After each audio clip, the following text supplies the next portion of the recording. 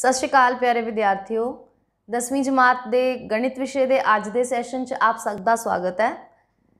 ਪਿਛਲੇ ਸੈਸ਼ਨ 'ਚ ਅਸੀਂ ਅਧਿਆਇ 14 ਅੰਕੜਾ ਵਿਗਿਆਨ ਦੀ ਦੁਹਰਾਈ ਸ਼ੁਰੂ ਕੀਤੀ ਸੀ, ਜਿਹਦੇ ਵਿੱਚ ਆਪਾਂ ਮੱਧਮਾਨ ਮੱਧਿਕਾ ਤੇ ਬਹੁਲਕ ਇਹ ਤਿੰਨੋਂ ਕੇਂਦਰੀ ਪ੍ਰਵਿਰਤੀ ਦੇ ਮਾਪ ਪਤਾ ਕਰਨ ਦੀਆਂ ਵਿਧੀਆਂ ਸਿੱਖੀਆਂ ਤੇ ਉਹਦੀ ਪ੍ਰੈਕਟਿਸ ਕੀਤੀ, ਉਹਦੇ ਨਾਲ ਸੰਬੰਧਿਤ ਕੁਐਸਚਨਸ ਕੀਤੇ।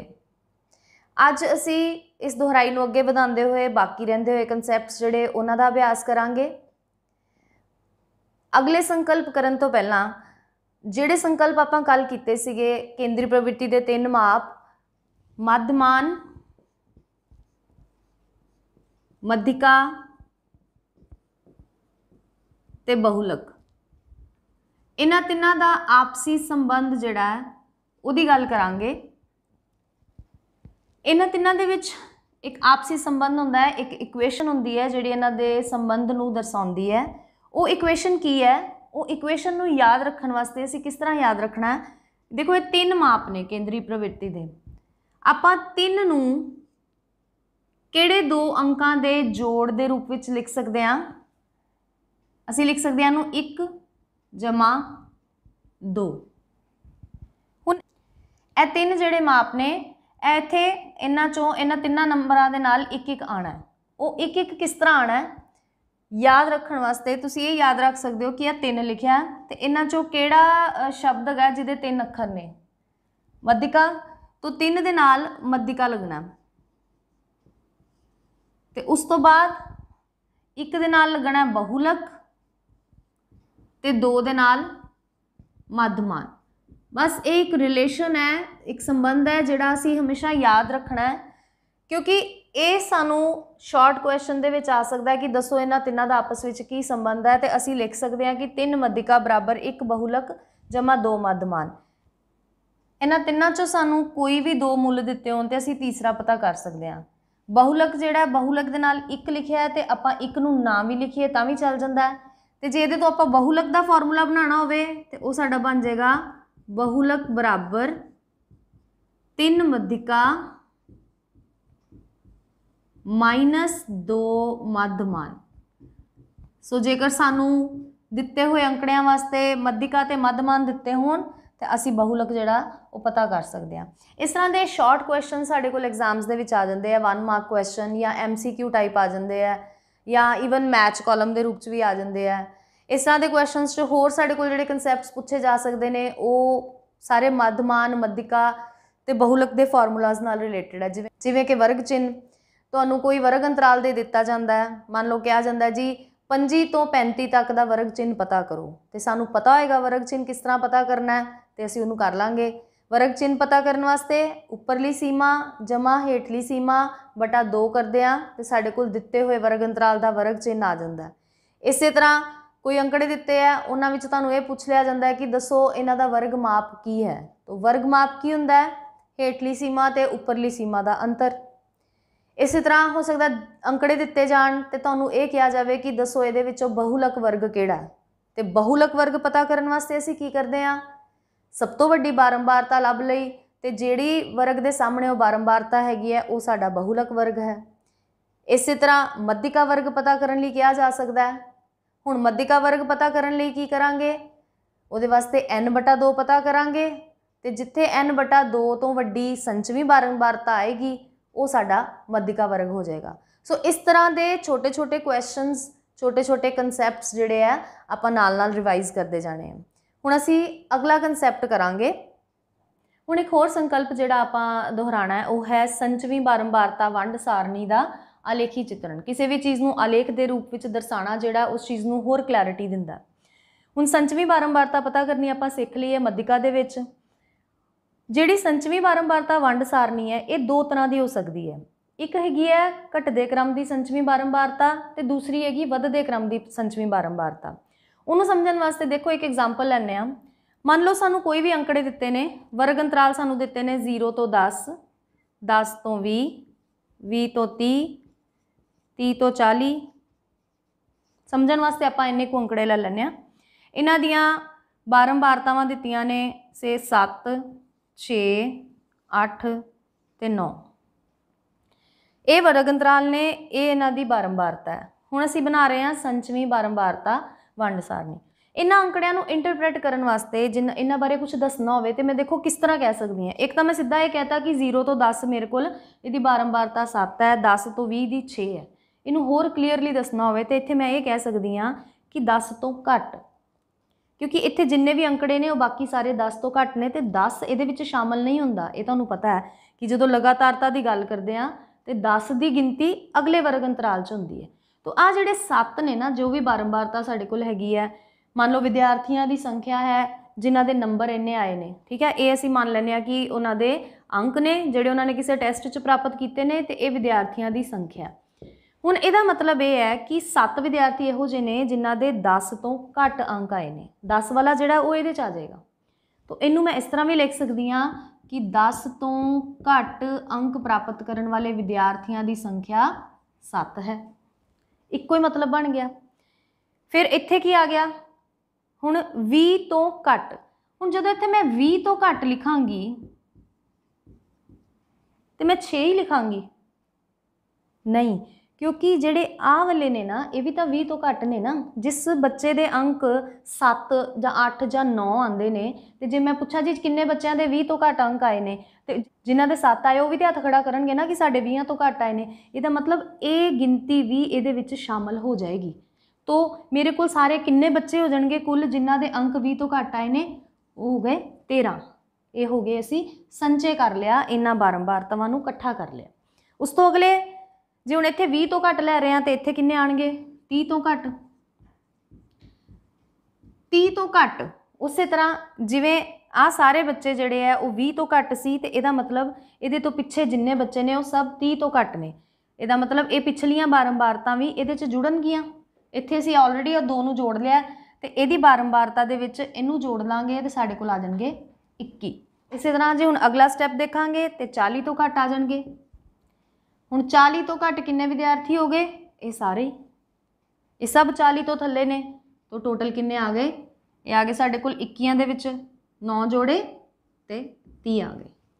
ਸੋ ਇਹ ਬਣਾ ਲਈ ਆਪਾਂ ਸੰਚਵੀਂ ਬਾਰੰਬਾਰਤਾ ਵੰਡ ਸਾਰਨੀ ਘੱਟ ਵਾਲੇ ਕ੍ਰਮ ਵਾਲੀ, ਜਿਹਦੇ 'ਚ ਅਸੀਂ ਘੱਟ ਦੀ ਗੱਲ ਕੀਤੀ। ਹੁਣ ਇਸੇ ਚੀਜ਼ ਨੂੰ ਇੰਟਰਪ੍ਰੀਟ ਕਰਨ ਦਾ ਇੱਕ ਹੋਰ ਤਰੀਕਾ। ਹੋਰ ਤਰੀਕਾ ਕੀ ਹੈ ਕਿ ਮੈਂ ਬਜਾਏ ਕਿ ਘੱਟ ਦੀ ਗੱਲ ਕਰਾਂ, ਮੈਂ ਵੱਧ ਦੀ ਗੱਲ ਵੀ ਤੇ ਕਰ ਸਕਦੀ ਹਾਂ। ਕਿ ਇਹ ਸਾਰੇ ਬੱਚਿਆਂ ਦੇ ਨੰਬਰ ਜੇ 10 ਤੋਂ ਘੱਟ ਨੇ ਤੇ 0 ਤੋਂ ਤੇ ਵੱਧ ਨੇ ਨਾ, ਜਾਂ 0 ਨੇ ਜਾਂ 0 ਤੋਂ ਵੱਧ ਨੇ।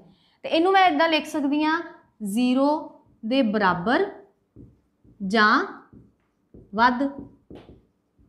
ਹੁਣ ਤੁਸੀਂ ਦੇਖ ਕੇ ਦੱਸੋ ਮੈਨੂੰ ਕਿ 0 ਦੇ ਬਰਾਬਰ ਜਾਂ ਵੱਧ ਵੱਧ ਕਿੰਨੇ ਬੱਚਿਆਂ ਦੇ ਨੰਬਰ ਜਿਹੜੇ 0 ਤੋਂ ਵੱਧ ਹੋ ਸਕਦੇ ਆ? ਆ ਜਿੰਨੇ ਵੀ ਨੰਬਰ ਨੇ 10 20 30 40 ਇਹ ਸਾਰੇ 0 ਤੋਂ ਵੱਧ ਨੇ। ਇਹਦਾ ਮਤਲਬ ਇਹ ਸਾਰੇ ਹੀ ਬੱਚੇ ਜਿਹੜੇ ਆ ਇਸ ਵਰਗ ਦੇ ਵਿੱਚ ਸ਼ਾਮਲ ਹੋ ਜਾਣਗੇ। ਇਹ ਸਾਰੇ ਬੱਚੇ ਕਿੰਨੇ ਨੇ ਸਾਡੇ ਕੋਲ ਟੋਟਲ ਇਹ ਸਾਡੇ ਕੋਲ ਨੇ 30 ਤੋਂ ਇਹ ਪਹਿਲੇ ਵਾਲੇ ਦੀ ਸੰਚਵੀਂ ਬਾਰੰਬਾਰਤਾ ਆ ਗਈ 30 ਹੁਣ ਜੇ ਇੱਥੇ ਮੈਂ 0 ਤੋਂ ਵੱਧ ਲਏ ਹੈ ਤੇ ਅਗਲੇ ਵਰਗ ਦੇ ਵਿੱਚ 10 ਤੋਂ ਵੱਧ ਨੇ। ਤੋਂ ਅਗਲੀ ਹੇਠਲੀ ਸੀਮਾ ਦੇ ਬਰਾਬਰ ਜਾਂ ਉਸ ਤੋਂ ਵੱਧ, ਉਹ ਕਿੰਨੇ ਨੇ? ਜਿਨ੍ਹਾਂ ਬੱਚਿਆਂ ਦੇ 10 ਤੋਂ ਵੱਧ ਨੰਬਰ ਆਏ ਨੇ, ਉਹਨਾਂ ਦੇ ਵਿੱਚ ਅਸੀਂ ਇਹ 0 ਤੋਂ 10 ਵਾਲੇ ਤੇ ਨਹੀਂ ਸ਼ਾਮਲ ਕਰ ਸਕਦੇ ਨਾ, ਕਿਉਂਕਿ ਇਹ ਸਭ 10 ਤੋਂ ਘੱਟ ਨੇ। ਤਾਂ ਇਹ 7 ਜਿਹੜੇ ਆ, ਇਹਨਾਂ 30 ਚੋਂ ਘਟਾ ਦੇਾਂਗੇ ਤੇ ਸਾਡੇ ਕੋਲ ਆ ਜਾਣਗੇ 23 ਇਸੇ ਤਰ੍ਹਾਂ ਅੱਗੋਂ 20 ਤੋਂ ਵੱਧ ਆਣਗੇ। ਜੇ 20 ਦੇ ਬਰਾਬਰ ਜਾਂ ਇਸ ਤੋਂ ਵੱਧ ਵਾਲੇ ਲਵਾਂਗੇ, ਤੇ ਉਹਦੇ ਵਿੱਚ ਇਹ ਜਿਹੜਾ ਪਿਛਲਾ ਸਾਡਾ ਵਰਗ ਅੰਤਰਾਲ ਹੈ, ਇਹਦੀ ਬਾਰੰਬਾਰਤਾ ਸ਼ਾਮਲ ਨਹੀਂ ਹੋਏਗੀ। ਮਤਲਬ ਕਿ ਹੁਣ ਆ ਜਿਹੜੀ ਬਾਰੰਬਾਰਤਾ ਇਹਦੇ ਚੋਂ 6 ਨੂੰ ਘਟਾ ਦੇਾਂਗੇ ਤੇ ਸਾਡੇ ਕੋਲ ਆ ਜਾਣਗੇ 17 ਫਿਰ 30 ਦੇ ਬਰਾਬਰ ਜਾਂ ਵੱਧ 30 ਦੇ ਬਰਾਬਰ ਜਾਂ ਵੱਧ। ਕਿੰਨੇ ਰਹਿ ਗਏ? ਹੁਣ ਇਸ 17 ਚੋਂ ਇਹ ਵਾਲੇ 8 ਵੀ ਘਟ ਜਾਣਗੇ ਤੇ ਸਾਡੇ ਕੋਲ ਆ ਗਏ 9 ਸੋ ਇਹ ਦੋ ਤਰ੍ਹਾਂ ਦੀ ਸੰਚਵੀ ਬਾਰੰਬਾਰਤਾ ਵੰਡ ਸਾਰਣੀ ਬਣ ਗਈ। ਇਹ ਆ ਗਈ ਘੱਟ ਪ੍ਰਕਾਰ ਦੀ ਤੇ ਇਹ ਆ ਗਈ ਵੱਧ ਪ੍ਰਕਾਰ ਦੀ। ਕੋਲ ਦੋ ਤਰ੍ਹਾਂ ਦੀਆਂ ਸੰਚਵੀ ਬਾਰੰਬਾਰਤਾ ਵੰਡ ਸਾਰਣੀਆਂ ਆ ਗਈਆਂ, ਇੱਕ ਘੱਟ ਪ੍ਰਕਾਰ ਦੀ, ਇੱਕ ਵੱਧ ਪ੍ਰਕਾਰ ਦੀ। ਉਹੀ ਡਾਟਾ ਦੋਵੇਂ ਚੀਜ਼ਾਂ ਰਿਪਰੈਜ਼ੈਂਟ ਕਰ ਰਹੀਆਂ ਨੇ। ਤੋ ਜਦੋਂ ਇਹਨਾਂ ਨੂੰ ਅਸੀਂ ਆਲੇਖ ਦੇ ਰੂਪ ਦੇ ਵਿੱਚ ਜਦੋਂ ਇਹਨਾਂ ਦਾ ਚਿੱਤਰਨ ਕਰਨਾ ਹੈ, ਅਸੀਂ ਕੀ ਕਰਨਾ ਹੈ ਕਿ ਐਕਸ x ਐਕਸਿਸ ਤੇ ਵਾਈ ਐਕਸਿਸ ਲੈਣੇ ਆ। ਹੁਣ ਉਹਨਾਂ ਦੇ ਉੱਤੇ ਪਲਾਟ ਕੀ ਕਰਨਾ ਹੈ? ਜਦੋਂ ਅਸੀਂ ਘੱਟ ਪ੍ਰਕਾਰ ਦੀ ਬਾਰੰਬਾਰਤਾ ਦੀ ਗੱਲ ਕਰਦੇ ਹਾਂ ਵੰਡ ਸਾਰਣੀ ਦੀ ਗੱਲ ਕਰਦੇ ਹਾਂ, ਤੇ ਅਸੀਂ ਉਹਦੇ ਵਿੱਚ ਉੱਪਰਲੀਆਂ ਸੀਮਾਵਾਂ ਲਈਆਂ ਹੁੰਦੀਆਂ ਨੇ। ਤੋ ਅਸੀਂ ਉਸ ਉੱਪਰਲੀ ਸੀਮਾ ਤੇ ਉਹਦੇ ਸਾਹਮਣੇ ਦੀ ਸੰਜਵੀਂ ਬਾਰੰਬਾਰਤਾ ਦਾ ਇੱਕ ਪੁਆਇੰਟ ਬਣਾ ਲੈਣਾ ਇਹਨੂੰ ਅਸੀਂ ਉਸ ਗ੍ਰਾਫ ਦੇ ਉੱਤੇ ਲੋਕੇਟ ਕਰ ਲੈਣਾ। ਫਿਰ ਅਗਲੀ ਬਾਰੰਬਾਰਤਾ ਅਗਲੀ ਸੀਮਾ 20 ਤੇ ਉਹਦੀ ਬਾਰੰਬਾਰਤਾ 13 ਉਸ ਤੋਂ ਅਗਲਾ ਪੁਆਇੰਟ ਉੱਪਰਲੀ ਸੀਮਾ 30 ਤੇ ਬਾਰੰਬਾਰਤਾ 21 ਤੇ ਅਗਲਾ ਉੱਪਰਲੀ ਸੀਮਾ 40 ਤੇ ਬਾਰੰਬਾਰਤਾ 30 ਇਹਨਾਂ ਪੁਆਇੰਟਸ ਨੂੰ ਜਦੋਂ ਅਸੀਂ ਗ੍ਰਾਫ ਦੇ ਉੱਤੇ ਲੋਕੇਟ ਕਰਕੇ ਜੁਆਇਨ ਕਰਾਂਗੇ, ਤੇ ਸਾਡੇ ਕੋਲ ਸੰਚਵੀਂ ਬਾਰੰਬਾਰਤਾ ਵੰਡ ਸਾਰਣੀ ਵਕਰ ਆ ਜਾਏਗੀ ਜਿਸ ਨੂੰ ਇੰਗਲਿਸ਼ ਵਿੱਚ ਜਿਸ ਨੂੰ ਇੰਗਲਿਸ਼ ਵਿੱਚ ਔਗੀਵ ਜਾਂ ਇੱਕ ਹੋਰ ਸ਼ਬਦ ਪੰਜਾਬੀ ਦਾ ਤੋਰਨ ਇਸ ਨੂੰ ਤੋਰਨ ਕਿਹਾ ਜਾਂਦਾ ਹੈ। ਤੇ ਇਹ ਜਿਹੜਾ ਤੋਰਨ ਆਏਗਾ, ਸਾਡਾ ਇੱਕ ਘੱਟ ਪ੍ਰਕਾਰ ਦਾ ਤੋਰਨ ਆਏਗਾ। ਠੀਕ ਹੈ? ਇਸੇ ਤਰ੍ਹਾਂ ਜੇ ਵੱਧ ਪ੍ਰਕਾਰ ਦੇ ਤੋਰਨ ਬਣਾਉਣਾ ਹੈ, ਤੇ ਆਪਾਂ ਹੇਠਲੀ ਸੀਮਾ 0 ਉਹਦੇ ਸਾਹਮਣੇ ਦੀ ਸੰਚਵੀਂ ਬਾਰੰਬਾਰਤਾ ਨਾਲ 30 ਫਿਰ 10 ਦੇ ਨਾਲ 23 20 ਦੇ ਨਾਲ 17 ਤੇ 30 ਦੇ ਨਾਲ 9 ਇਹ ਸਾਰੇ ਪੁਆਇੰਟਸ ਪਲਾਟ ਕਰ ਦਿਆਂਗੇ ਤੇ ਸਾਡੇ ਕੋਲ ਇੱਕ ਹੋਰ ਤਰ੍ਹਾਂ ਦਾ ਤੋਰਨ ਆ ਜਾਏਗਾ ਜਿਹਨੂੰ ਅਸੀਂ ਵੱਧ ਪ੍ਰਕਾਰ ਦਾ ਤੋਰਨ ਕਵਾਂਗੇ। ਹੁਣ ਆਓ ਇਹ ਸਮਝਦੇ ਹਾਂ ਕਿ ਇਹ ਤੋਰਨ ਬਣਾਉਣੇ ਕਿਸ ਤਰ੍ਹਾਂ ਹੈ। ਆਲੇਖੀ ਚਿੱਤਰਨ ਦਾ ਅਭਿਆਸ ਕਰਨ ਵਾਸਤੇ ਅਸੀਂ ਐਕਸਰਸਾਈਜ਼ 14.4 ਦਾ ਪਹਿਲਾ ਪ੍ਰਸ਼ਨ ਲਿਆ ਇਸ ਪ੍ਰਸ਼ਨ ਦੇ ਵਿੱਚ ਉਹਨਾਂ ਨੇ ਸਾਨੂੰ ਵਰਗ ਅੰਤਰਾਲ ਦਿੱਤੇ ਨੇ 100 ਤੋਂ 120 120 ਤੋਂ 40 ਨਾਲ ਬਾਰੰਬਾਰਤਾ ਦਿੱਤੀ ਹੈ ਔਰ ਉਹਨਾਂ ਨੇ ਕਿਹਾ ਘੱਟ ਤੋਂ, ਘੱਟ ਪ੍ਰਕਾਰ ਦਾ ਤੋਰਨ ਖਿੱਚੋ। ਹੁਣ ਘੱਟ ਪ੍ਰਕਾਰ ਦਾ ਤੋਰਨ ਖਿੱਚਣ ਤੋਂ ਪਹਿਲਾਂ ਉਹਦੀ ਘੱਟ ਪ੍ਰਕਾਰ ਦੀ ਸੰਚਵੀਂ ਬਾਰੰਬਾਰਤਾ ਜਿਹੜੀ ਸਾਨੂੰ ਵੰਡ ਸਾਰਣੀ ਬਣਾਉਣੀ ਪਏਗੀ। ਘੱਟ ਪ੍ਰਕਾਰ ਦੀ ਸੰਚਵੀਂ ਬਾਰੰਬਾਰਤਾ ਪਤਾ ਕਰਨ ਵਾਸਤੇ ਹੁਣ ਘੱਟ ਕਿਦੇ ਤੋਂ? ਘੱਟ ਦਾ ਮਤਲਬ ਘੱਟ ਕਿਦੇ ਤੋਂ? ਵੱਡੀ ਸੀਮਾ ਤੋਂ, ਉੱਪਰਲੀ ਸੀਮਾ ਤੋਂ। ਤੋਂ ਅਸੀਂ ਸਭ ਤੋਂ ਪਹਿਲਾਂ ਲਿਖਾਂਗੇ 120 ਤੋਂ ਘੱਟ। ਫਿਰ 120 ਤੋਂ ਬਾਅਦ 140 ਤੋਂ ਘੱਟ। ਸਾਰੀਆਂ ਉੱਪਰਲੀਆਂ ਸੀਮਾਵਾਂ ਜਿਹੜੀਆਂ, ਉਹ ਲੈ ਲੈਣੀਆਂ ਤੇ ਉਹਨਾਂ ਤੋਂ ਘੱਟ ਲਿਖ ਦੇਣਾ। 180 ਤੋਂ ਘੱਟ ਤੇ 200 ਤੋਂ ਘੱਟ। ਹੁਣ ਇਹਨਾਂ ਦੇ ਅੱਗੇ ਇਹਨਾਂ ਦੀ ਸੰਚਵੀਂ ਬਾਰੰਬਾਰਤਾ ਜਿਹੜੀ ਆ ਉਹ ਬਣਾ ਦੇਣੀ ਹੈ ਸੰਚਵੀਂ ਬਾਰੰਬਾਰਤਾ ਜਾਂ CF 120 ਤੋਂ ਘੱਟ ਕਿੰਨੇ ਨੇ? ਆਬਵੀਅਸਲੀ ਇੱਥੇ 12 ਹੀ ਆਣੇ ਅਗਲਾ 140 ਤੋਂ ਘੱਟ ਮਤਲਬ ਆ 14 ਦੇ ਵਿੱਚ ਆ 12 ਜੁੜ ਜਾਣੇ ਆ, ਸਾਡੇ ਕੋਲ ਆ ਜਾਣੇ ਆ 26 ਫਿਰ 8 ਜੁੜ ਜਾਣੇ ਆ 34 6 ਜੁੜ ਜਾਣੇ ਆ 40 ਤੇ ਇਹ 10 ਜੁੜ ਜਾਣੇ ਆ 50 ਸਾਡੇ ਕੋਲ ਇਹ ਟੇਬਲ ਆ ਗਿਆ। ਹੁਣ ਇਸ ਟੇਬਲ ਨੂੰ ਅਸੀਂ ਜਦੋਂ ਪਲਾਟ ਕਰਨਾ ਹੈ ਗ੍ਰਾਫ ਪੇਪਰ ਦੇ ਉੱਤੇ ਤੇ ਅਸੀਂ ਕਿਹੜੇ ਕਿਹੜੇ ਪੁਆਇੰਟਸ ਪਲਾਟ ਕਰਨੇ ਆ? ਜਿਹੜੇ ਪੁਆਇੰਟਸ ਪਲਾਟ ਕਰਨੇ ਆ, ਉਹ ਆਪਾਂ ਇੱਥੇ ਲਿਖ ਲੈਂਦੇ ਆ ਜੋ ਇੱਥੇ ਲਿਖਿਆ, ਉੱਪਰਲੀ ਸੀਮਾ, ਉਹਦੇ ਨਾਲ ਇਹਦੀ ਸੰਚਵੀਂ ਬਾਰੰਬਾਰਤਾ 140 ਤੇ 26 160 ਤੇ 34 180 ਤੇ 40 200 ਤੇ 50 ਹੁਣ ਇਹਨਾਂ ਪੁਆਇੰਟਸ ਨੂੰ ਪਲਾਟ ਕਰਨ ਦਾ ਫਾਇਦਾ ਕੀ ਹੋਣਾ ਸਾਨੂੰ? ਇਹਨਾਂ ਪੁਆਇੰਟਸ ਦੇ ਨਾਲ ਅਸੀਂ ਮੱਧਿਕਾ ਨੂੰ ਬਹੁਤ ਈਜ਼ੀਲੀ ਲੱਭ ਸਕਦੇ ਹਾਂ ਬਿਨਾਂ ਕੈਲਕੂਲੇਸ਼ਨਸ ਕੀਤੇ ਆ ਜਿਹੜਾ ਹੁਣ ਆਪਾਂ ਟੇਬਲ ਤਿਆਰ ਕੀਤਾ ਹੈ ਸੰਚਵੀਂ, ਬਾਰੰਬਾਰਤਾ ਵੰਡ ਸਾਰਣੀ ਦਾ ਜਿਹੜਾ ਤੋਂ ਘੱਟ ਪ੍ਰਕਾਰ ਦਾ ਉਸ ਦਾ ਆਪਾਂ ਆਲੇਖ ਖਿੱਚਾਂਗੇ। ਦੇਖੋ, ਇਹ ਪੁਆਇੰਟਸ ਆਪਾਂ ਲੋਕੇਟ ਕਰਨੇ ਆ। 120 ਤੇ 12 140 ਤੇ 26 160 ਤੇ 34 180 40 250 ਇਹ ਕੀ ਨੇ?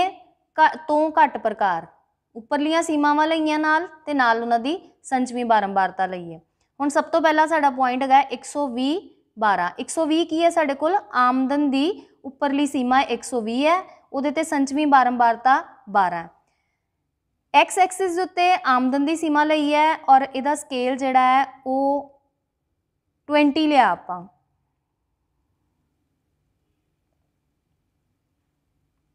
ਇਹਦਾ ਸਕੇਲ ਆਪਾਂ 1 ਸਕੁਅਰ ਜਿਹੜਾ ਹੈ ਉਹਨੂੰ ਅਸੀਂ 10 ਲਿਆ।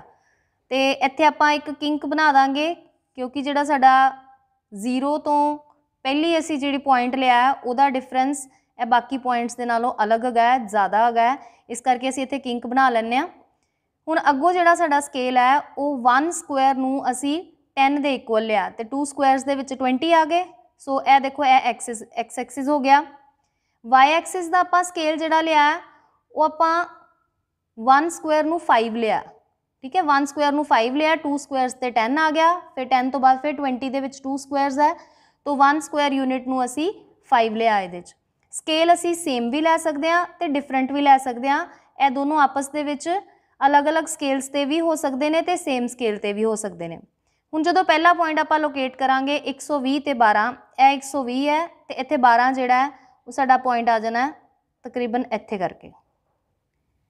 ਉਸ ਤੋਂ ਬਾਅਦ ਸੈਕਿੰਡ ਪੁਆਇੰਟ ਆ ਗਿਆ 140 ਤੇ 26 140 ਤੇ 26 ਜਿਹੜਾ ਸਾਡੇ ਕੋਲ ਆਣਾ ਹੈ, ਇੱਥੇ 25 ਆਣਾ ਹੈ ਔਰ ਇਹ 26 ਆ ਗਿਆ। ਫਿਰ 160 ਤੇ 34 ਇਹ 160 ਇੱਥੇ 35 ਇਹਦੇ ਤੋਂ ਥੱਲੇ ਇੱਥੇ ਆ ਗਿਆ 34 180 ਤੇ 40 ਇਹ 180 ਹੈ, ਇਹ 40 ਹੈ। ਲਾਸਟ ਆ ਗਿਆ 200 ਤੇ 50 ਇਹ 200 ਦੇ ਉੱਤੇ ਇਹ 50 ਆ ਗਿਆ। ਹੁਣ ਇਹਨੂੰ ਆਪਾਂ ਫ੍ਰੀ ਹੈਂਡ ਮਿਲਾਣਾ ਸਾਰੇ ਪੁਆਇੰਟਸ ਨੂੰ ਜਦੋਂ ਇਦਾਂ ਮਿਲਾਇਆ ਤੇ ਇਹ ਸਾਡੇ ਕੋਲ ਤੋਂ ਘੱਟ ਪ੍ਰਕਾਰ ਦਾ ਤੋਰਨ ਬਣ ਗਿਆ। ਇਹ ਪੁਆਇੰਟਸ ਆਪਾਂ ਲੋਕੇਟ ਕੀਤੇ ਸੀਗੇ। ਜਦੋਂ ਆਪਾਂ ਇਹਨਾਂ ਨੂੰ ਮਿਲਾਇਆ ਤੇ ਸਾਡੇ ਕੋਲ ਤੋਂ ਘੱਟ ਪ੍ਰਕਾਰ ਦਾ ਤੋਰਨ ਬਣ ਗਿਆ। ਹੁਣ ਇਹ ਦੇਖੋ ਕਿ ਜਿਹੜਾ ਤੋਂ ਘੱਟ ਪ੍ਰਕਾਰ ਦਾ ਤੋਰਨ ਹੈ, ਉਹ ਉੱਪਰ ਨੂੰ ਜਾਂਦਾ ਹੁਣ ਇਸ ਤੋਰਨ ਤੋਂ ਆਪਾਂ ਮੱਧਿਕਾ ਕਿਸ ਤਰ੍ਹਾਂ ਲੱਭ ਸਕਦੇ ਹਾਂ? ਮੱਧਿਕਾ ਵਾਸਤੇ ਪਹਿਲਾਂ ਸਾਨੂੰ ਇਹ ਪਤਾ ਹੋਣਾ ਚਾਹੀਦਾ ਕਿ n ਕੀ ਹੈ। ਹੁਣ ਇਸ ਪ੍ਰਸ਼ਨ ਦੇ ਵਿੱਚ ਸਾਡਾ n ਜਿਹੜਾ ਹੈ, ਉਹ 50 ਹੈ ਤੇ n ਬਟਾ 2 ਉਹ ਜਿਹੜਾ ਸਾਡਾ 25 ਹੋ ਗਿਆ। ਹੁਣ ਹੁਣ 25 ਇੱਥੇ ਦੇਖਾਂਗੇ ਆਪਾਂ ਬਾਰੰਬਾਰਤਾ ਦੇ ਵਿੱਚ 25 ਕਿੱਥੇ ਆਣਾ ਹੈ? ਇਹ ਆ ਜਾਏਗਾ 25 ਸਾਡੇ ਕੋਲ ਇੱਥੇ। 25 ਦੇ ਸਾਹਮਣੇ ਅਸੀਂ ਇਹਨੂੰ ਐਕਸਟੈਂਡ ਕਰਕੇ ਇਹ ਤੋਰਨ ਦੇ ਨਾਲ ਮਿਲਾਣਾ ਹੈ। ਜਿਸ ਪੁਆਇੰਟ ਦੇ ਉੱਤੇ ਇਹ ਤੋਰਨ ਨੂੰ ਮਿਲਦਾ ਹੈ, ਉਹਨੂੰ ਜਦੋਂ ਅਸੀਂ ਥੱਲੇ ਲੈ ਕੇ ਜਾਵਾਂਗੇ, ਇਹਨੂੰ ਜੁਆਇਨ ਕਰ ਲਿਆ। ਇਸ ਤਰ੍ਹਾਂ। ਤੇ ਇਹ ਜਿਹੜਾ ਪੁਆਇੰਟ ਆਏਗਾ, ਇਹ ਸਾਡੀ ਮੱਧਿਕਾ ਹੋਏਗੀ। ਇਹ 140 ਤੋਂ ਥੱਲੇ ਹੈ, ਤਕਰੀਬਨ 139 ਕਹਿ ਸਕਦੇ ਹਾਂ ਆਪਾਂ ਇਹਨੂੰ। ਤੋਂ ਇਹਦੀ ਮੱਧਿਕਾ ਜਿਹੜੀ ਹੈ, ਉਹ 139 ਹੈ। ਠੀਕ ਹੈ ਜੀ? ਇਸ ਤਰ੍ਹਾਂ ਅਸੀਂ ਘੱਟ ਪਰ ਘਟਦੇ ਪ੍ਰਕਾਰ ਦਾ ਤੋਰਨ ਆਪਣੇ ਨਾਮ ਤੋਂ ਉਲਟ ਹੁੰਦਾ ਇਹ ਯਾਦ ਰੱਖਣਾ ਕਿ ਜਦੋਂ ਅਸੀਂ ਬੋਲ ਰਹੇ ਹਾਂ ਨਾ ਘਟਦੇ ਪ੍ਰਕਾਰ ਦਾ ਤੋਰਨ ਤੇ ਅਸਲ ਵਿੱਚ ਉਹ ਉੱਪਰ ਨੂੰ ਜਾਂਦਾ ਹੁੰਦਾ ਹੈ। ਤੋਂ ਘਟਦੇ ਪ੍ਰਕਾਰ ਦਾ ਤੋਰਨ ਜਿਹੜਾ ਹੈ, ਉਹ ਉੱਪਰ ਨੂੰ ਜਾ ਰਿਹਾ ਕਿਉਂਕਿ ਸੰਚਵੀਂ ਬਾਰੰਬਾਰਤਾ ਵੱਧ ਰਹੀ ਹੈ। ਤੇ ਵੱਧਦੇ ਪ੍ਰਕਾਰ ਦਾ ਤੋਰਨ ਜਿਹੜਾ ਉਹ ਹੇਠਾਂ ਨੂੰ ਆਏਗਾ। ਇਹ ਮਧਿਕਾ ਹਾਸਲ ਕਰ ਲਈ। ਹੁਣ ਇਸੇ ਐਗਜ਼ਾਮਪਲ ਨੂੰ ਅਸੀਂ ਦੂਸਰੇ ਇਹਨਾਂ ਅੰਕੜਿਆਂ ਨੂੰ ਹੀ ਅਸੀਂ ਵੱਧਦੇ ਪ੍ਰਕਾਰ ਦੇ ਤੋਰਨ ਵਾਸਤੇ ਵੀ ਯੂਜ਼ ਕਰਕੇ ਦੇਖ ਸਕਦੇ ਹਾਂ। ਦੇਖੋ ਹੁਣ ਵੱਧਦੇ ਪ੍ਰਕਾਰ ਦਾ ਤੋਰਨ ਕਿੱਦਾਂ ਬਣਾਵਾਂਗੇ? ਹੁਣ ਇਹਨਾਂ ਅੰਕੜਿਆਂ ਨੂੰ ਵਰਤ ਕੇ ਆਪਾਂ ਤੋਂ ਵੱਧ ਪ੍ਰਕਾਰ ਦਾ ਤੋਰਨ ਬਣਾਉਂਦੇ ਹਾਂ। ਜਦੋਂ ਅਸੀਂ ਤੋਂ ਵੱਧ ਦੀ ਗੱਲ ਕਰਦੇ ਹਾਂ ਤੇ ਉਹਦੇ ਨਾਲ ਨਾਲ ਬਰਾਬਰ ਵੀ ਆਉਂਦਾ ਹੈ। ਵੱਧ ਕਿਹਦੇ ਤੋਂ ਹੁੰਦਾ ਹੈ? ਹੇਠਲੀ ਸੀਮਾ ਤੋਂ। ਤਾਂ ਉਹ ਹੇਠਲੀ ਸੀਮਾ ਵੀ ਗਿਣੀ ਜਾਂਦੀ ਹੈ, ਇਸ ਕਰਕੇ ਬਰਾਬਰ ਸ਼ਬਦ ਵੀ ਲਿਖਦੇ ਹਾਂ। ਤਾਂ ਸਭ ਤੋਂ ਪਹਿਲੇ ਅਸੀਂ ਕਿਹਦੇ ਤੋਂ ਵੱਧ ਲਿਖਾਂਗੇ? 100 ਤੋਂ ਵੱਧ ਜਾਂ ਬਰਾਬਰ? ਫਿਰ 120 ਤੋਂ ਵੱਧ ਜਾਂ ਬਰਾਬਰ? 140 ਤੋਂ? 160 ਤੋਂ? ਤੇ 180 ਤੋਂ? ਹੁਣ ਇਹਨਾਂ ਦੀ ਸੰਚਵੀਂ ਬਾਰੰਬਾਰਤਾ। ਜਦੋਂ ਅਸੀਂ ਵੱਧ ਪ੍ਰਕਾਰ ਦੀ ਸੰਚਵੀਂ ਬਾਰੰਬਾਰਤਾ ਲਿਖਦੇ ਹਾਂ, ਤਾਂ ਸਭ ਤੋਂ ਪਹਿਲਾਂ ਟੋਟਲ ਬਾਰੰਬਾਰਤਾ ਦਾ ਜਿਹੜਾ ਜੋੜ ਹੈ, ਉਹ ਲਿਖਦੇ ਹਾਂ। ਕਿੰਨੇ 100 ਤੋਂ ਵੱਧ ਨੇ? ਇਹ ਸਾਰੇ ਦੇ ਸਾਰੇ। ਔਰ ਇਹ ਸਾਰੇ ਟੋਟਲ ਕਿੰਨੇ ਨੇ ਸਾਡੇ ਕੋਲ? 26 ਤੇ 8 34 40 ਤੇ 10 50 ਸੋ ਸਾਰੇ ਹੀ 100 ਤੋਂ ਵੱਧ ਜਾਂ ਉਹਦੇ ਬਰਾਬਰ ਨੇ ਤਾਂ ਉਹ ਆ ਗਏ 50 ਹੁਣ ਜਦੋਂ ਅਸੀਂ 100 ਤੋਂ 20 ਤੋਂ ਵੱਧ ਦੀ ਗੱਲ ਕਰਨੀ ਹੈ ਤੇ ਇਹ ਵਾਲੇ ਇਹਦੇ ਵਿੱਚ ਸ਼ਾਮਲ ਨਹੀਂ ਹੋਣੇ ਤਾਂ 50ਵਾਂ ਚੋਂ 12 ਨੂੰ ਘਟਾਤਾ ਜਾਏਗਾ ਸਾਡੇ ਕੋਲ ਆ ਜਾਣਗੇ 38 ਜਦੋਂ ਅਗਲੇ ਕਾਲਮ 'ਚ ਪਹੁੰਚ ਗਏ ਅਗਲੇ ਸਟੈਪ ਤੇ ਪਹੁੰਚ ਗਏ ਤੇ ਆ ਪਿਛਲੀ ਬਾਰੰਬਾਰਤਾ ਘਟ 14 ਘਟਾਏ ਆ ਗਏ 24 ਹੁਣ 24 ਚੋਂ ਅਗਲੇ ਸਟੈਪ ਤੇ ਗਏ ਤੇ ਇਹ 8 ਘਟ ਗਏ ਗਏ 16 ਫਿਰ 16 ਚੋਂ 6 ਘਟੇ ਤੇ ਆ ਗਏ 10 ਦੇਖੋ ਆ ਜਦੋਂ ਬਰਾਬਰ ਆ ਗਈ, ਇਹਦਾ ਮਤਲਬ ਸਾਡੀ ਬਾਰੰਬਾਰਤਾ ਅਸੀਂ ਜਿਹੜੀ ਲਿਖ ਰਹੇ ਹਾਂ, ਉਹ ਸਹੀ ਹੈ।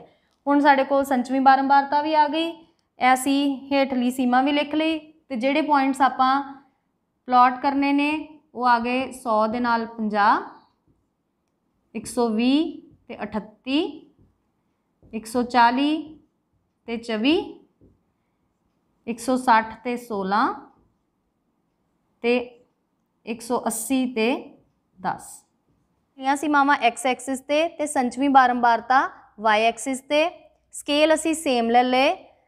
X ਐਕਸਿਸ ਦਾ ਸਕੇਲ ਜਿਹੜਾ ਹੈ, ਉਹ ਆਪਾਂ 1 ਸਕੁਅਰ ਯੂਨਿਟ ਨੂੰ 10 ਲਿਆ ਇੱਥੇ ਅਸੀਂ ਇੱਕ ਕਿੰਕ ਬਣਾ ਲਾਂਗੇ। ਔਰ y ਐਕਸਿਸ ਦਾ ਸਕੇਲ ਜਿਹੜਾ ਆਪਾਂ 1 ਸਕੁਅਰ ਯੂਨਿਟ ਨੂੰ 5 ਲਿਆ। ਹੁਣ ਜਿਹੜੇ ਪੁਆਇੰਟਸ ਅਸੀਂ ਪਲਾਟ ਕਰਨੇ ਆ, ਉਹ ਹੈ 100 ਤੇ 50 ਇਹ 100 ਹੈ ਇੱਥੇ ਦਾ ਪੁਆਇੰਟ ਜਿਹੜਾ ਕੋਰਸਪੋਂਡਿੰਗ ਉਹ ਆਏਗਾ ਇੱਥੇ 50 120 ਦੇ ਨਾਲ ਅਸੀਂ ਲੈਣਾ ਹੈ 38 ਉਹ ਸਾਡੇ ਕੋਲ ਆਏਗਾ ਇੱਥੇ। 120 ਤੇ 38 ਫਿਰ 140 ਦੇ ਨਾਲ 24 ਇਹ 20 ਇੱਥੇ ਕਰਕੇ ਆ ਜਾਏਗਾ ਸਾਡੇ ਕੋਲ 24 160 ਤੇ 16 ਇਹ ਆ ਗਿਆ ਪੁਆਇੰਟ 180 ਤੇ 10 ਹੁਣ ਫਿਰ ਇਹਨਾਂ ਨੂੰ ਫ੍ਰੀ ਹੈਂਡ ਮਿਲਾ ਲਈਏ।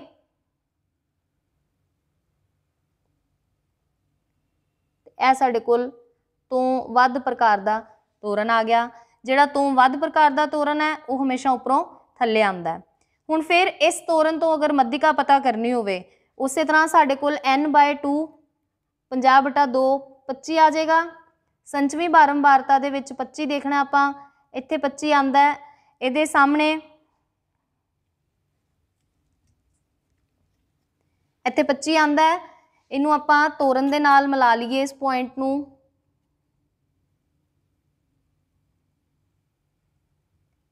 ਫਿਰ ਇਹਨੂੰ ਥੱਲੇ ਲੈ ਜਾਈਏ। ਜਿਸ ਪੁਆਇੰਟ ਤੇ ਜਾ ਕੇ ਇਹ ਸਾਡੀ ਐਕਸ ਐਕਸਿਸ ਨੂੰ ਕੱਟੇਗੀ, ਉੱਥੇ ਸਾਡਾ ਜੋ ਪੁਆਇੰਟ ਆਂਦਾ ਹੈ, ਉਹ ਸਾਡਾ ਮੱਧਿਕਾ ਹੋਏਗੀ। ਹੁਣ ਦੇਖੋ 140 ਤੋਂ ਥੱਲੇ ਤਕਰੀਬਨ 139 ਦੇ ਕਰੀਬ ਇਹ ਸਾਡੇ ਕੋਲ ਆ ਰਿਹਾ। ਜੇਕਰ ਅਸੀਂ ਇਹਨੂੰ ਮੈਥਮੈਟਿਕਲੀ ਵੀ ਕਰਕੇ ਦੇਖਾਂਗੇ ਫਾਰਮੂਲਾ ਲਗਾ ਕੇ ਮੱਧਿਕਾ ਦਾ, ਤੇ ਤੁਹਾਡੇ ਕੋਲ ਆਨਸਰ ਜਿਹੜਾ ਹੈ, ਉਹ ਆਲਮੋਸਟ ਸੇਮ ਆਏਗਾ। ਮੇਬੀ ਬਿਲਕੁਲ ਐਗਜ਼ੈਕਟਲੀ ਸੇਮ ਨਾ ਆਏ ਬਟ ਆਲਮੋਸਟ ਸੇਮ ਆਏਗਾ। ਵਿਦ ਦ ਡਿਫਰੈਂਸ ਆਫ ਥੋੜਾ ਬਹੁਤ ਇੱਕ ਦੋ ਪੁਆਇੰਟਸ ਦਾ।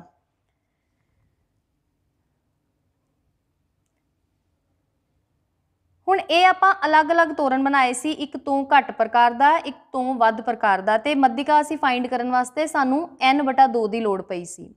ਹੁਣ ਇੱਕ ਹੋਰ ਤਰੀਕਾ ਹੈ ਕਿ ਆਪਾਂ ਤੋਰਨ ਬਣਾ ਕੇ ਮੱਧਿਕਾ ਜਿਹੜੀ ਹੈ ਉਹ ਲੱਭ ਸਕਦੇ ਹਾਂ। ਤੋਰਨ ਦੁਆਰਾ ਮੱਧਿਕਾ ਲੱਭਣ ਦਾ ਦੂਸਰਾ ਤਰੀਕਾ ਇਹ ਹੈ ਕਿ ਅਸੀਂ ਇੱਕੋ ਹੀ ਗ੍ਰਾਫ ਦੇ ਉੱਤੇ ਦੋਨੋਂ ਤੋਰਨ ਤੋਂ ਵੱਧ ਪ੍ਰਕਾਰ ਤੇ ਤੋਂ ਘੱਟ ਪ੍ਰਕਾਰ, ਇੱਕੋ ਹੀ ਅੰਕੜਿਆਂ ਵਾਸਤੇ, ਦਿੱਤੇ ਹੋਏ ਅੰਕੜਿਆਂ ਵਾਸਤੇ ਦੋਨੋਂ ਪ੍ਰਕਾਰ ਦੇ ਤੋਰਨ ਇੱਕ ਗ੍ਰਾਫ ਤੇ ਬਣਾ ਲਈਏ ਤੇ ਜਿੱਥੇ ਉਹ ਦੋਨੋਂ ਤੋਰਨ ਇੱਕ ਦੂਸਰੇ ਨੂੰ ਕੱਟਣਗੇ, ਉੱਥੇ ਸਾਡੀ ਮੱਧਿਕਾ ਸਾਡੇ ਕੋਲ ਆ ਜਾਏਗੀ। ਹੁਣ ਜਿਸ ਤਰ੍ਹਾਂ ਆਪਾਂ ਪਿਛਲੇ ਤੋਰਨ ਨੂੰ ਪਲਾਟ ਕੀਤਾ ਸੀਗਾ, ਉਸੇ ਤਰ੍ਹਾਂ ਪਹਿਲੇ ਤੋਂ ਵੱਧ ਪ੍ਰਕਾਰ ਵਾਲਾ ਤੇ ਤੋਂ ਘੱਟ ਪ੍ਰਕਾਰ ਵਾਲਾ। ਪਹਿਲੇ ਮੈਂ ਤੋਂ ਵੱਧ ਪ੍ਰਕਾਰ ਵਾਲਾ ਕਰ ਰਹੀ ਹਾਂ। ਇਹ ਪੁਆਇੰਟਸ ਨੇ ਮੇਰੇ 100 100 ਦੇ ਉੱਤੇ 50 120 ਤੇ 38 ਦੈਨ 140 ਤੇ 24 ਫਿਰ 160 ਤੇ 16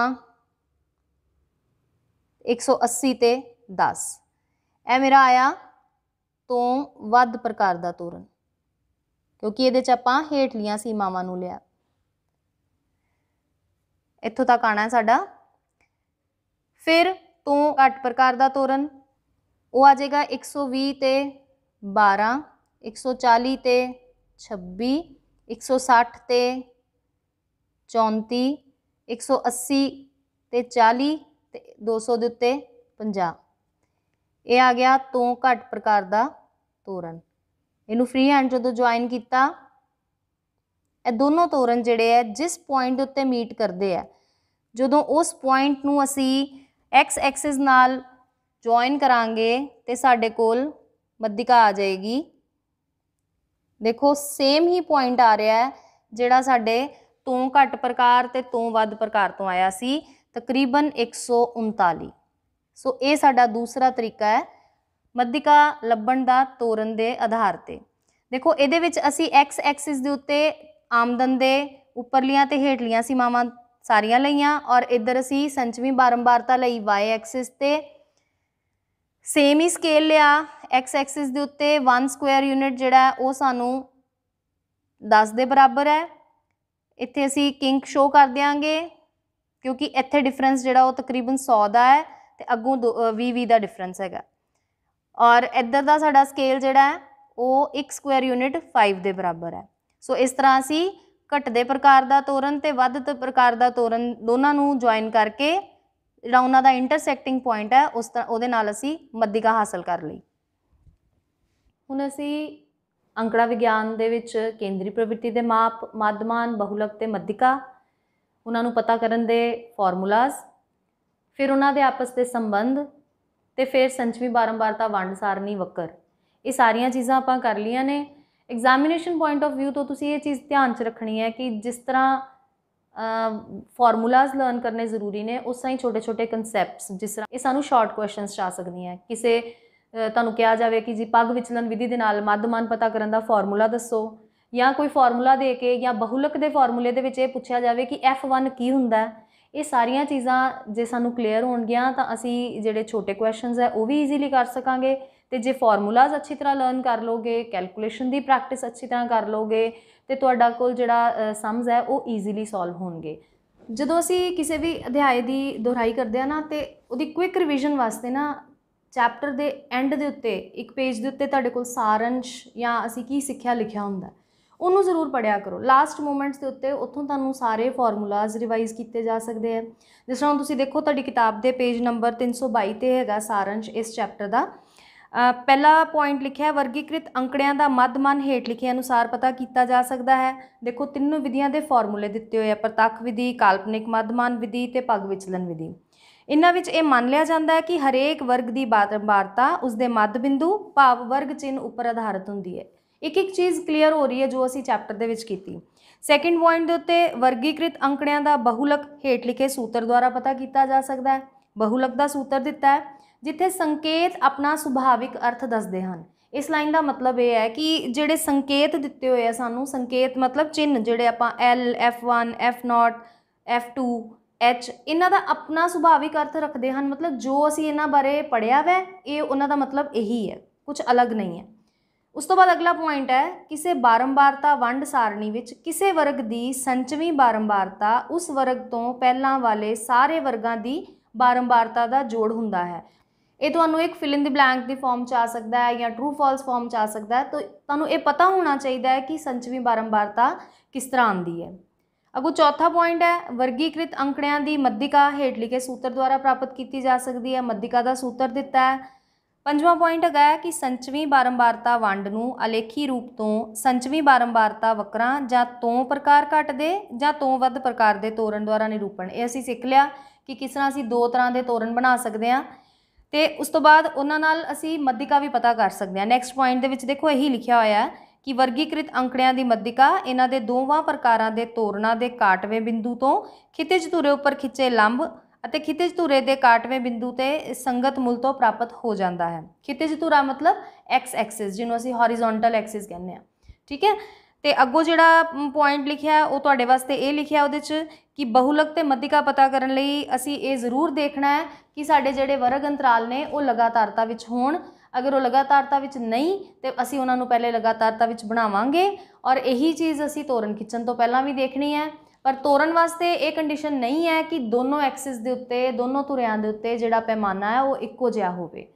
ਤੋ, ਤੁਸੀਂ ਇਹ ਪੁਆਇੰਟਸ ਜਿਹੜੇ ਬੁੱਕ ਲੈਸਨ ਦੇ ਐਂਡ ਤੇ ਦਿੱਤੇ ਹੋਏ ਆ ਇਹਨਾਂ ਨੂੰ ਪੜ੍ਹਨਾ ਜ਼ਰੂਰੀ ਹੈ। ਹਰ ਚੈਪਟਰ ਦੇ ਐਂਡ ਦੇ ਉੱਤੇ ਇਹ ਪੁਆਇੰਟਸ ਚੰਗੀ ਤਰ੍ਹਾਂ ਪੜ੍ਹ ਕੇ ਆਪਣੀ ਕਨਸੈਪਟ ਕਲੈਰਿਟੀ ਕਰਿਆ ਕਰੋ, ਤਾਂ ਕਿ ਤੁਹਾਨੂੰ ਸ਼ਾਰਟ ਕੁਐਸਚਨਸ ਕਰਨ ਦੇ ਵਿੱਚ ਬਹੁਤ ਹੈਲਪ ਮਿਲ ਜਾਂਦੀ ਹੈ। ਤੋ ਮੈਕਸਿਮਮ ਪ੍ਰੈਕਟਿਸ ਕਰੋ ਤੇ ਮੈਕਸਿਮਮ ਸਕੋਰ ਕਰੋ ਥੈਂਕ ਯੂ